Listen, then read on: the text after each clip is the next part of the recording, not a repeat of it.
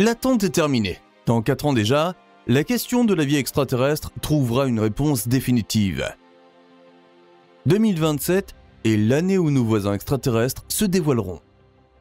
C'est du moins ce dont est convaincu l'ancien agent de la CIA, John Ramirez. Mais est-il possible que cette affirmation téméraire soit finalement fondée?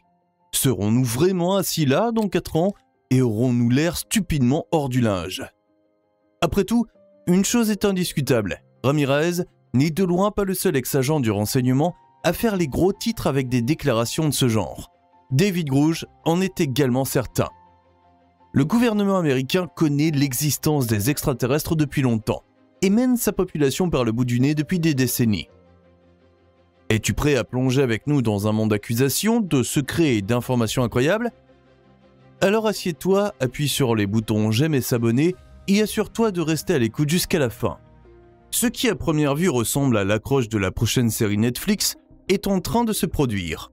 Un ancien employé de la CIA a décidé de tourner le dos au célèbre service de renseignement étranger et de confronter le monde à une incroyable vérité. Cependant, comme il s'y a une histoire palpitante, toutes ces histoires de contact avec des extraterrestres et de programmes gouvernementaux secrets ne suscitent pas que l'approbation du grand public. La plupart des gens sourient avec lassitude, mais l'ultime coup de théâtre survient en 2027. Les extraterrestres apparaissent soudainement sur la scène terrestre, et l'ancien agent de la CIA avait raison depuis le début. Selon ses propres déclarations, Ramirez ne veut rien faire d'autre avec ses déclarations que de préparer les États-Unis et dans un sens plus large, la population mondiale à un événement inévitable. Car une chose est certaine pour le lanceur d'alerte. Si nous et le gouvernement continuons de la sorte comme au cours des dernières décennies, il arrivera avec l'arrivée des aliens une panique collective aux conséquences inimaginables. Mais d'où Ramirez tire-t-il ces informations controversées? Eh bien, il ne veut pas le révéler complètement. À cet égard, il a seulement déclaré dans une interview Je pense que le mot s'est répandu au sein du gouvernement que les extraterrestres vont se montrer en 2027. J'ai entendu cela dans une sorte de capacité officielle, mais je ne peux pas le révéler. Le gouvernement est conscient qu'il ne reste que quelques années pour préparer les gens. Ramirez et les reptiloïdes. Et même si nous n'avons aucune idée de ce qu'on entend exactement par une sorte de fonction officielle, il y a un certain nombre de personnes qui croient à ces déclarations non fondées. En fait, ce n'est pas la seule affirmation, ni même la plus farfelue, avec laquelle Ramirez a attiré l'attention sur lui. En outre, il est également convaincu que les reptiloïdes vivent parmi nous. Plus encore, d'après ses propres données, il a rencontré un tel lézard en face de lui, les yeux dans les yeux.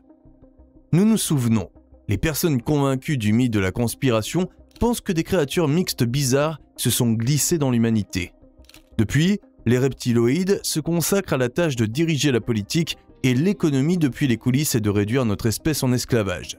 Ce qui ressemble à première vue à un rêve fiévreux invraisemblable s'accompagne en fait d'une statistique bizarre. 4% des Américains croient que les créatures écailleuses existent vraiment, ce qui représente 13 millions de personnes. Par ailleurs, Ramirez a décrit son expérience personnelle avec le visiteur lézard comme suit. J'ai eu une fois une expérience négative avec une créature que la plupart des gens décriraient comme reptilienne. Elle est sortie du salon et est entrée dans ma chambre. Je me suis battu avec elle, je l'ai frappée et j'avais des marques de griffure le lendemain matin. David Grosch.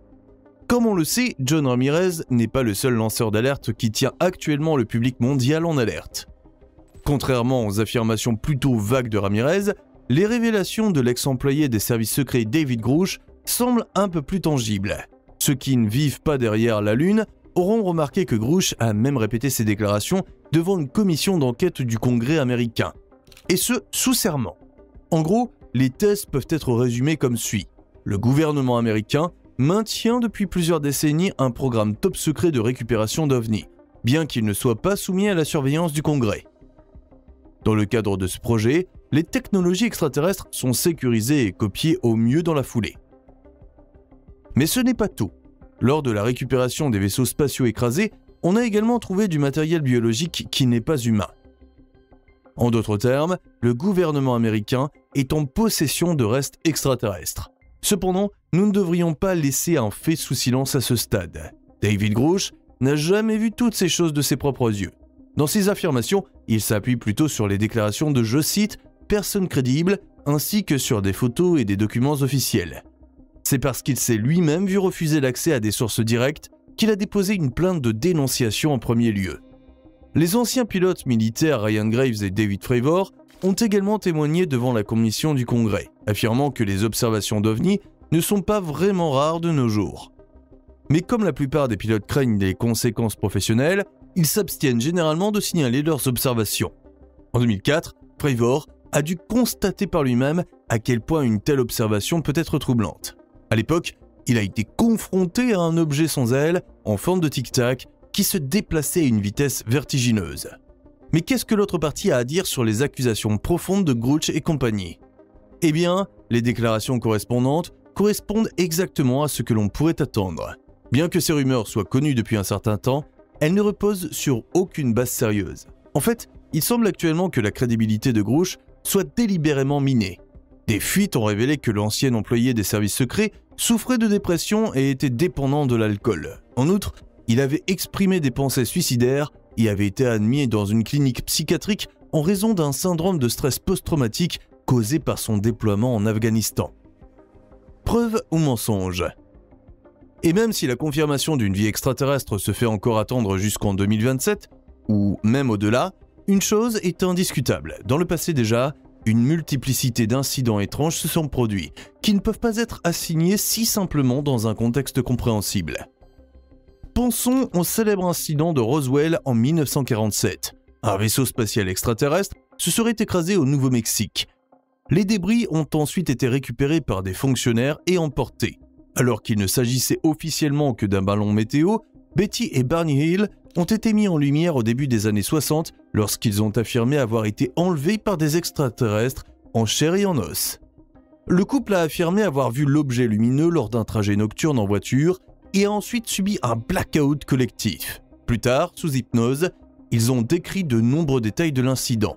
Ils avaient été emmenés à bord d'un vaisseau spatial par de petites silhouettes grises et y avaient subi un examen médical. Comme les récits du couple différaient sur certains points, beaucoup pensent que le prétendu enlèvement par des extraterrestres n'était en fait qu'une tentative embarrassante de se placer sous les feux des projecteurs lucratifs. En résumé, la liste des observations d'OVNI est très riche et très controversée. Mais malgré toutes les preuves manquantes, de nombreux chercheurs conservateurs sont convaincus de l'existence d'une vie extraterrestre. Après tout, pourquoi utiliser les plaques Pioneer et les disques d'or Voyager pour envoyer dans l'espace des informations sur nous et notre planète si nous pensons qu'elles ne parviendront de toute façon à personne? Mais s'il existe effectivement d'autres civilisations avancées dans l'univers, pourquoi ne sont-elles pas là? C'est une question que le physicien italien Enrico Fermi s'est également posée le paradoxe de Fermi. Si l'on part du principe que l'apparition de la vie terrestre n'est pas une coïncidence unique, l'univers devrait en fait regorger de civilisations extraterrestres. C'est en tout cas le point de départ de ce jeu de pensée que nous connaissons aujourd'hui sous le nom de paradoxe de Fermi. Ce qui est valable dans une vision d'ensemble l'est aussi dans une vision relativement petite. Notre Voie lactée devrait également regorger d'espèces différentes. S'il n'y a qu'une seule civilisation dans notre galaxie d'origine qui est capable de faire de la colonisation interstellaire, elle pourrait coloniser complètement toute la galaxie en quelques millions d'années. Mais alors, pourquoi les extraterrestres ne sont-ils pas là? Pour décrypter le paradoxe de Fermi, différentes tentatives d'explication sont prêtes. En laissant de côté la théorie selon laquelle nous sommes vraiment seuls, il est possible que les distances gigantesques de l'univers mettent des bâtons dans les roues de la rencontre interespèce jetons un coup d'œil à l'étoile la plus proche de notre Soleil. Une sonde spatiale voyageant à une vitesse de 61 000 km heure, comme Voyager 1, aurait besoin de 75 000 ans pour atteindre Proxima Centauri. Alors qu'une autre approche repose sur le fait qu'une civilisation est au maximum capable de coloniser ses systèmes voisins immédiats, des experts comme Stephen Hawking estiment qu'il est dans la nature des civilisations techniques de s'éteindre tôt ou tard. Parmi les déclencheurs possibles de l'extinction, on trouve les agents pathogènes génétiquement modifiés, les technologies d'armement hors de contrôle et l'emballement des effets de serre. Cependant, ce n'est pas le seul point de vue défendu par Stephen Hawking.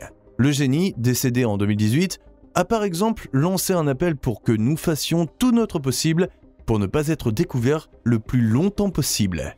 La théorie dite de la forêt sombre fait également vibrer une corde sensible comparable. Sachant que dans l'immensité de l'espace, des espèces agressives sont à la manœuvre et éliminent tout concurrent potentiel, la plupart des civilisations se comportent le plus discrètement possible.